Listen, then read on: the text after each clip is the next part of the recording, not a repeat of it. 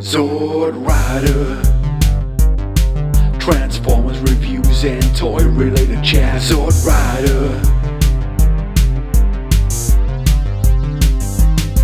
Xortrider.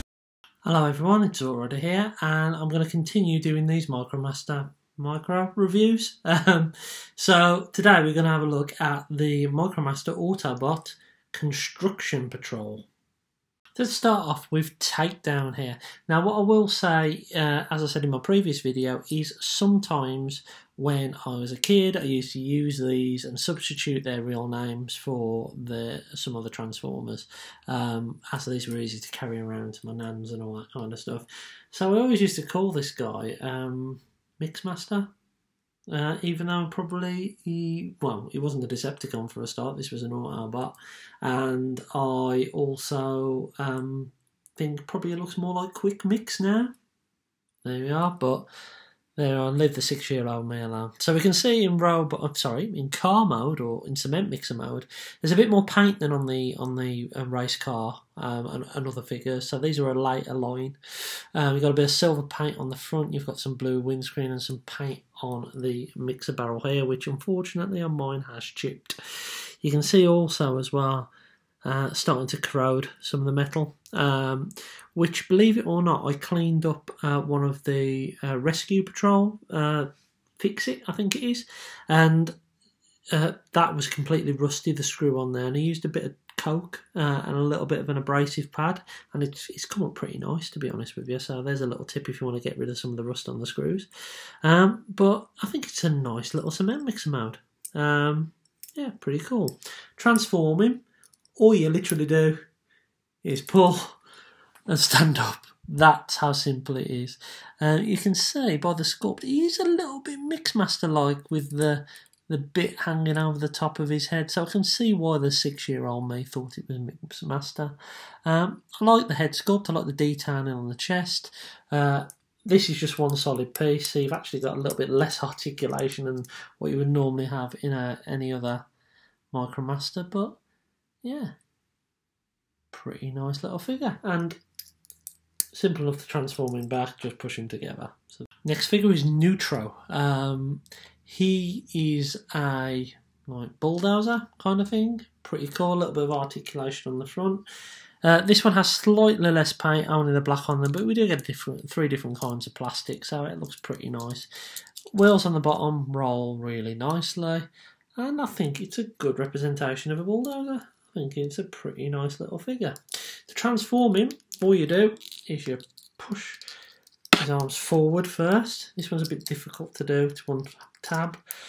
You push the bulldozer blade back and fold his legs round and of course his head up and then you drop him on the floor. Um, so here he is in his robot mode, uh, Neutro. And I like the head sculpt. Uh, I like the detail on the on the face. Uh, I think it cleans up pretty well. I know we've got a big bulldozer blade on the back, but for something so small, I think it looks great. Um, he's a lovely, lovely little figure. Um, I'm, I'm falling in love with these Micromasters all over again. The interesting thing is that, unlike a lot of my other Transformers, I haven't probably picked up and played with these and actually looked at them in detail since I was a kid. So that's this is nice. I think they they were chucked in a box and I sorted them out into their teams when I moved house, and that was essentially it. So it's nice to actually get a little bit of nostalgia from these, um, a little bit of good play memories. So yeah, there's Neutro. So next up is Little Ground Pounder here, who's another construction vehicle, uh, and used to be Scoop he does look a little bit like Scoop, doesn't he? Um, so yeah, I used to like Scoop. He was a very underrated figure and toy. Um, but yeah, I like this vehicle mode. I like all of these, to be honest with you. I don't think there's a bad one amongst them. Um, got a little bit of articulation here on the on the digger itself. But yeah, a little bit of silver paint there on the uh, windscreen. Looks nice. Transform. Fold this round flick the head up. And there we have him in his robot mode. Um, pretty simple. He has got a big shovel, like sitting down his back, and it won't go down any further. Yeah. Actually, wonder.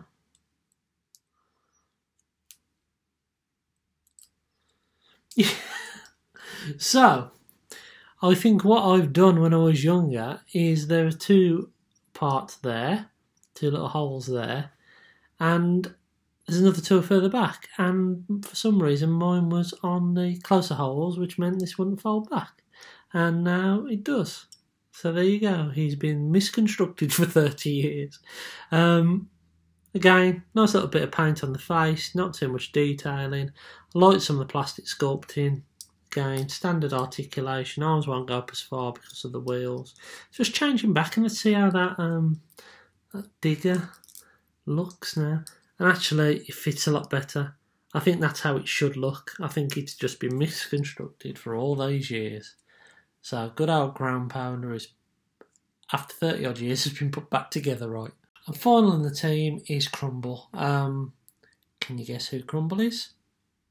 Hook, of course. Got a little bit of an obsession with Hook because I missed out on him, and I've told that story a number of times. But uh, this was my mini version of Hook, um, which you can see why similar, mode, all that kind of stuff. Nice bit of green paint on the windows there.